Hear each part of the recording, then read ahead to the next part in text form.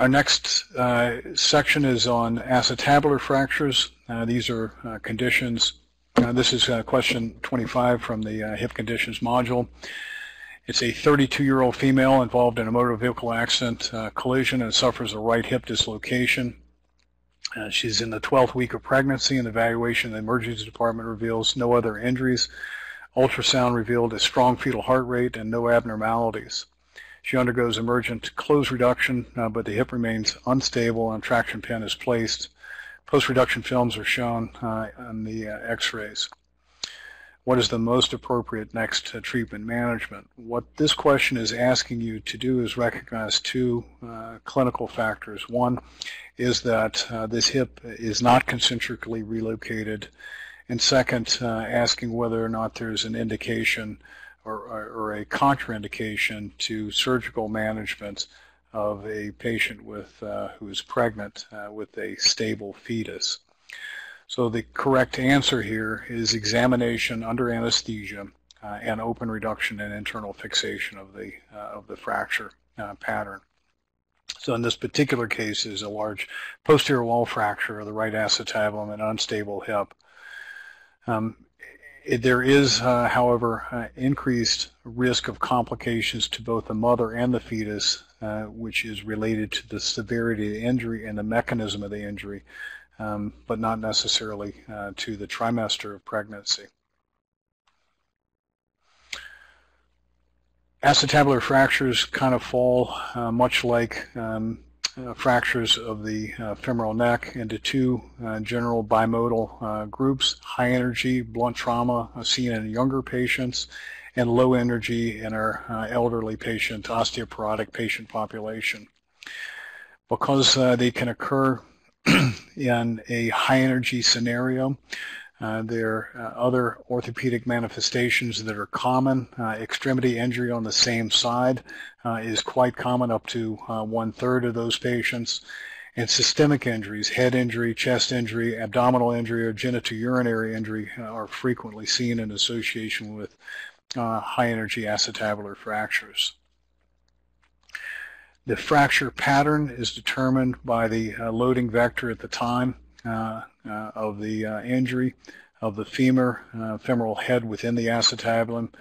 Um, flexion uh, and uh, is commonly associated uh, with posterior, whereas extension with an anterior-based fracture pattern.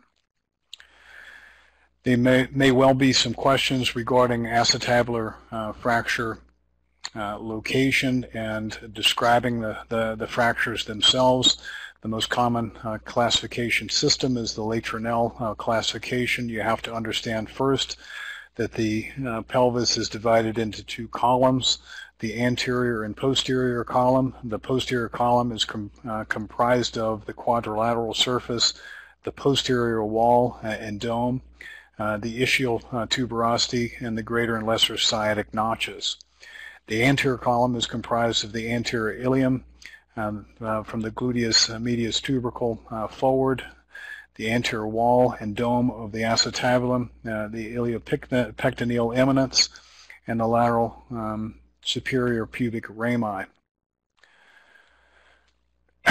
In approaching the, um, the acetabulum for surgical dissection, um, particularly the Stoppa approach uh, to the uh, quadrilateral uh, surface of the acetabulum. There, you may uh, see some questions about uh, the corona mortis. It's a anastomosis, a vascular anastomosis uh, between the external iliac or the epigastric and the obturator arteries, the internal iliac.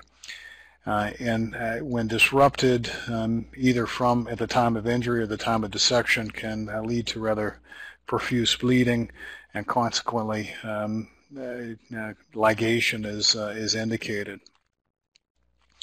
Letournel's fracture classification is the most common. You need to uh, think of it as five elementary and five associated fracture types. Um, uh, and these include an anterior wall fracture, uh, which is simply includes the, the wall of the acetabulum and not the column. The posterior wall, similarly, posterior wall, Anterior column is the fracture which extends up into the anterior column. Posterior column uh, typically uh, exits below the level of the sciatic notch. uh, within the posterior aspect and posterior column, and a transverse which uh, ex uh, extends through the acetabulum uh, in both columns of the acetabulum. Um, the associated fracture patterns are both column associated. The posterior column, posterior wall, uh, which is, uh, again, a posterior column with an associated posterior wall fracture. Uh, transverse posterior wall, uh, similar to uh, the simple fracture pattern, but with a posterior wall component. The anterior column, posterior, posterior hemitransverse. This is probably the most confusing for people. The fracture pattern is, uh, is within the anterior column, so uh, define the anterior column fracture first and then look for a fracture pattern that is more horizontal through the uh, posterior column. Uh, differentiated as um, uh, by the attachment or lack of attachment of articular cartilage with the axial aspect of the skeleton. The T-type, similarly, a transverse with an inferior extension. Uh, these are the associated fractures. So how do you figure this out? Again, uh, look first to see what uh, fracture, what column is involved. Uh, next, look at uh, are there any separate wall fractures, either anteriorly or posteriorly. And then is there any, ask is there any articular cartilage in continuity with the axial skeleton? This question uh, is looking at, asks uh, the posterior wall of the acetabulum is best visualized on which of the following radiographic views. Uh, when we look at the uh, pelvis, uh, we'll typically obtain uh, obturator and iliac obliques or Judet views. so in this, the correct answer is the obturator oblique. so to review that, let's look first at Judet imaging. An obturator oblique shows the profile of the obturator foramen. So when you're looking at uh, the uh, the the hip, uh, the side uh, that you're describing, in which you can see the obturator ring, is the obturator oblique for that particular uh, hemipelvis. And uh, what it shows in contrast is the anterior column and the posterior wall of the acetabulum. Looking at that a different way, this time on the right hip, uh, we can see the radiograph and obturator um, oblique uh, on of the right hip and the anterior column in red and the posterior um, uh, posterior wall of the acetabulum uh, posteriorly. The iliac oblique is essentially the opposite. It shows the profile of the involved iliac wing. So this is an iliac oblique of the left hip and it shows the posterior column uh, up to the sciatic notch uh, and the anterior wall of the acetabulum. So uh, again, uh, with the obliquity, you can see the lesser, uh, uh, you can see the sciatic notch, the sciatic eminence, and you can additionally see the posterior um, or the anterior, excuse me, the anterior wall of the of the acetabulum. Treatment for acetabular fractures uh, requires uh, non-operative treatment requires um, non uh, or, or, minimal displacement less than two millimeters. You want to uh, examine these under uh, anesthesia and fluoroscopy to test for stability of the fracture. And uh, again, uh, consider non-operative uh, treatment for uh, those patients that are morbidly obese, uh, poor uh, surgical candidates, or in the presence of DVT.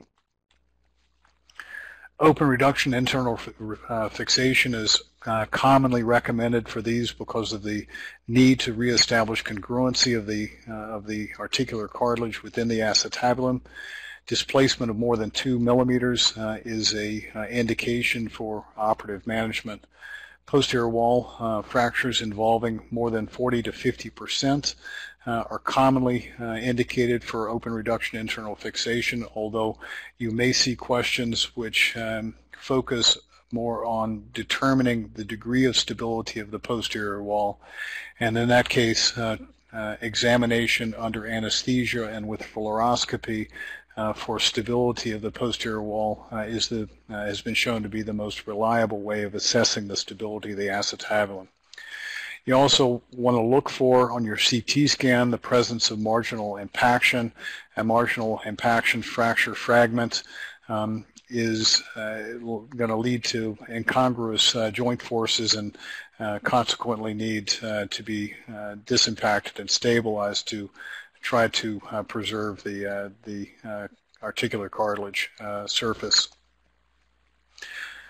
Outcomes um, with tend to correlate with a number of factors, the degree of displacement, um, uh, whether or not uh, there was uh, hip dislocation. If the hip can be reduced within 12 hours, there's lower risk of uh, issues with sciatic palsy and avascular necrosis, the degree to which the articular cartilage can be reduced, and interestingly, uh, in your post-rehabilitation, the strength of the muscles around the, the hip that assist in gait is correlated with the functional outcome for patients. That uh, is a question that uh, you saw in your module.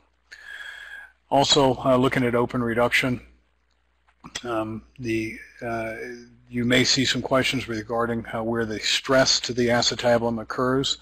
Uh, the greatest um, stress uh, on the acetabulum, acetabular repair, is when rising from a seated position, and that stress vector is in the posterior superior aspect of the acetabulum. So keep that in mind uh, when uh, answering questions about uh, movement and rehabilitation. Occasionally, uh, patients will present with very severe comminution um, and or severe uh, osteopenia, osteoporosis, in which uh, we'll consider um, arthroplasty plus open reduction internal fixation. Um, this is a technically demanding uh, surgical uh, undertaking, but uh, in uh, properly executed, uh, save, survivorship at 10 years up to nearly 80% has been shown. Again, um, worse outcomes in patients that are younger and patients that are obese and those with rather significant acetabular defects. Uh, you may see some questions or likely to see some questions with regard to uh, your choice of, uh, of approach for management of acetabular fractures. The ilioinguinal approach or the anterior approach is typically uh, indicated for patients with uh, anterior wall and anterior column fractures, but can be associated with uh, uh, femoral cutaneous nerve injury, femoral nerve injury, uh, femoral vessel thrombosis because of retraction, and uh, potentially uh, laceration of the corona mortis. Posterior approach, or the Kocher-Langenbach, is used uh, predominantly for uh, posterior wall and posterior column fractures. Um, uh, sciatic nerve injury has been shown to occur with this approach it may be more a function of where the uh, the actual injury pattern is as opposed to the approach, but uh, the questions may reflect that as a as a potential um, uh, injury source.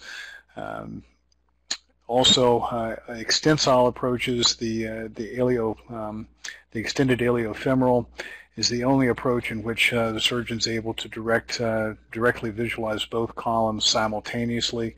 Uh, it's a very uh, helpful uh, surgical approach in these complex fractures, but is often associated with heterotopic ossification and consequently um, a, a, prophylactic measures need to be undertaken.